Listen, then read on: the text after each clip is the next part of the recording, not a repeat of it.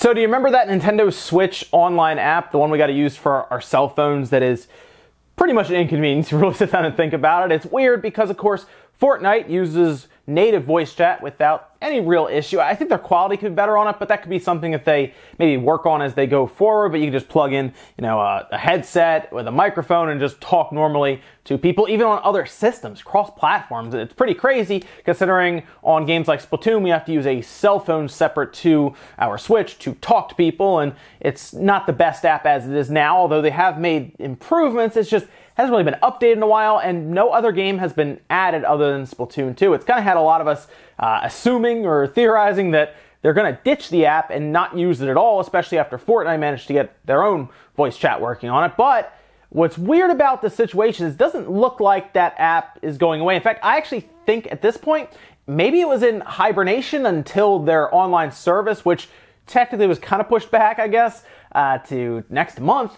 Maybe they were waiting for that to launch to open it up to other developers. See, the reason a lot of us are thinking that now is apparently Diablo 3, the one coming out for the Switch, is going to be using this online app. It's something that I didn't really expect to hear about at all. It is very weird. This actually comes from Game Informer's hands-on time with it, and they, they talked about it pretty heavily. They talked about how when they're playing it, it's of course 720p in handheld, 960p docked, but they said that the frame rate seemed to be rock solid. The HD Rumble was kind of wonky because when like meteors would come down, the thing would just violently shake the whole time. But uh, according to developers there, they were still just kind of working around it and they didn't understand how much more violent, I guess. It, the retail controllers used HD rumbles, and that's something they're going to work on because it would be kind of annoying if you're playing the, the, entire time and whenever things like, as you as you could tell with Diablo 3, if you've played it, it can get kind of hectic and chaotic on screen. So you can kind of think if they're trying to have HD rumble work with everything that's happening, yeah, your controller or your Joy-Con controllers will just go crazy the entire time. Now, I was reading through this several times, and their wording is very interesting here because I'm not 100% sure if they even know it's going to use the online app, but they seem to come away from this impressions with the, the, idea that it was. So maybe someone there told them that it was because they and they put it in their article saying that. So I will leave a link to the Game Informer article down in the description if you want to read through it for yourself. But it is at the very end where they talk about it, and they seem to link the online app that uh, we know of on the cell phone that use Splatoon 2 with the online service that you have to pay for completely. So maybe that is what Nintendo is shooting for. Maybe people there at the at the booth told them that that they were going to use the app for uh, voice chat, which is kind of a shame. I would have liked to have seen them kind of work in their own in-game voice chat like we have with Fortnite, but I guess maybe Nintendo really is opening that up because consider this, this this would be the first game since Splatoon 2 which launched on the app since nothing else has been added so it's been, it would be like the first game in quite a while now to be added, and it's the first third party game, something we weren't sure if third parties were going to be able to use it or not, since even something like Payday 2 hasn't had a whisper of voice chat at all. Um, so maybe they're opening it up now that the online service is launching next month, and Diablo, as we assume, is launching after that. I guess we shouldn't be too surprised if, if this ends up being the way it is, since Nintendo still talks about their online app on the FAQ section when they're talking about uh, the, the online app alongside of things like cloud saves and, and I guess so, some sort of as we assume right now, Netflix type service with their NES games, and we need to know still the other 10. Uh, I guess we shouldn't be too surprised because they still recognize it there. It's just, for some of us, I think it, it's kind of frustrating, and I, I, don't really want to use that app for a lot of these games. So I guess uh, you want to get people together and I guess use Discord or, or anything else you would want to use to talk to people. Uh, I mean, I guess you could just uh, technically call and group call everyone in if you, if you want to do it. That's technically what they're doing there with the phone anyway. Just over IP. Another thing that caught my eye here about these hands-on sessions with Diablo 3 on the Switch is they did seem to get single Joy-Con play to work. Do you remember how I talked about how I wasn't sure how they would adapt it to a single Joy-Con, but if they could get that to work,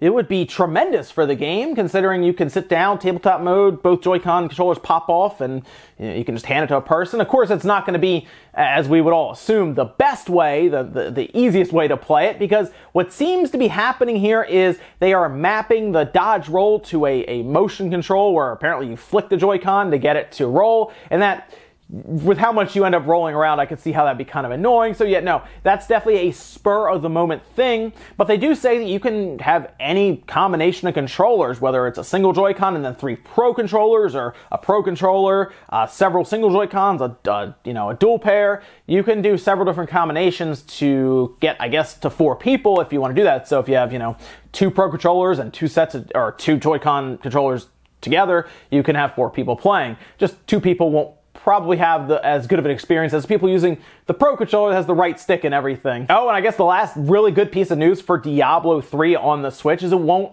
need an, uh, any kind of download. That's that's a big deal for a lot of these Switch games, especially when they see them get ported from like the PS4 and the Xbox One, or even some PC games, uh, and it has all of this content from Diablo in it. Apparently, they're going to put everything on the cartridge if you buy it physically at retail, which is something that we've we, we've we've had to deal with. I guess a lot of people have had to live with with the Switch. If you want to get a game that is larger than what these current cartridges would allow to keep it within reason for cost well, you just got to download the other half of the game, and in some cases, you can't play the game at all until you download that other part of the game. But it looks like everything is included on this cart, which makes me wonder if they're going to use a 16 gig cart or if it's actually going to be larger than that and maybe Nintendo's helping them out with it, or maybe that's why it's uh, what like five or six dollars, something more than all the expansions thrown together. Uh, we'll see. We'll see if they can get all this stuff uh, at 16 gigabytes or less. That'd be pretty impressive. There's also the possibility, okay, that the game itself is on the cartridge, but maybe one or two of the expansions are extra and you have to download them because they could technically say,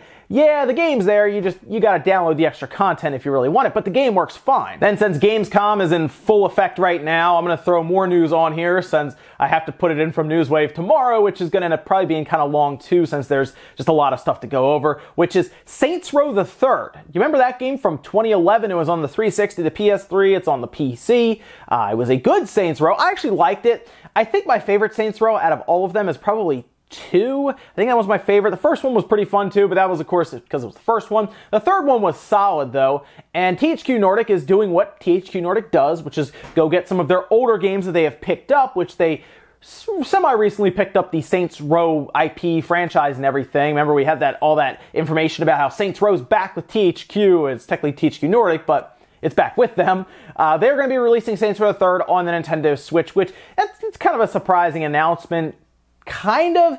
Again, I look at THQ Nordic, who has done things like taken uh, Darksiders and remastered that, right? Uh, they put it on uh, even the current platforms and they re-released it again on the PC.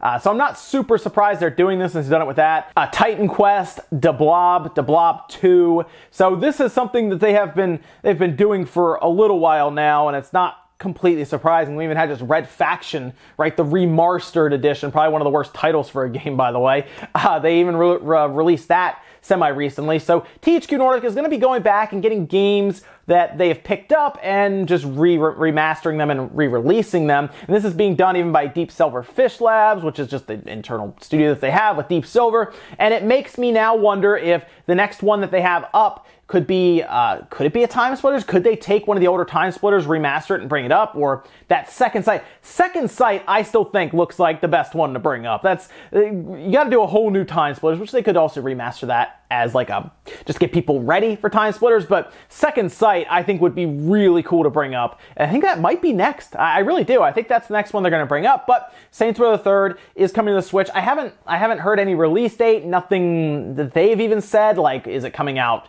you know i guess coming out next year at this point since we heard about it. But as we've seen with switch games you can technically announce a release date for it and release it like two or three days later or the next week. That's something we've kind of gotten used to at this point. But hey, if you missed out on Saints Row the Third, which it's been around for so long now, it's on PC and most PCs sold now, even laptops with like integrated visuals or maybe even the new Ryzen chips that keep coming out in the laptops can play it anyway. But hey, there you go. I guess if you want to uh, pick it up and play it on your Switch, you can. Saints Row is a fun game. It's kind of like a Grand Theft Auto, and I guess that I guess that could be a good reason why they might be bringing it up since there's no Grand Theft Auto 5 yet. But still, it's it's an older game, so if you missed out on it, it's fun. It's a parody of Grand Theft Auto, at least how it started. They made fun of Grand Theft Auto. I remember with I think the first one, you had an island out in the ocean part that had like a skeleton of like a plesiosaur that was supposed to make fun of the Loch Ness monster. Uh, rumors that were in Grand Theft Auto that were ended up being pretty fake. But it's a fun game. I would just look into it. And if you're just curious about it now, after hearing about all this, you can technically pick it up on Steam for pretty cheap at this point. Anyway, guys, that's going to do it here today. Let me know what you think about all the stuff we talked about today, whether it's Diablo 3, some of the stuff we've heard about it now coming out of Gamescom with uh, hands-on impressions, whether it's uh, maybe the steady frame rate, the weird Joy-Con rumble. The single Joy-Con play is the one that I'm most curious about. I don't, I, I don't know. It's, it's going to feel weird. Of course, we're going to try it out here and see how it plays and everything, and that's going to be something on my radar. And uh, we'll see how that goes. About the online app? Are you are kind of frustrated to hear about it still being around, or do you just not really care? It's just it's kind of white noise for you because you mostly use like Discord and stuff. But let me know let me know about that. And then Saints Row the Third. Are you interested, or is that game just too old and you've, you've played it before, so you're not not really interested? Make sure you guys like the video if you liked it, dislike it if not, and I'll see you guys tomorrow morning, 8 a.m. Eastern Time for Newswave.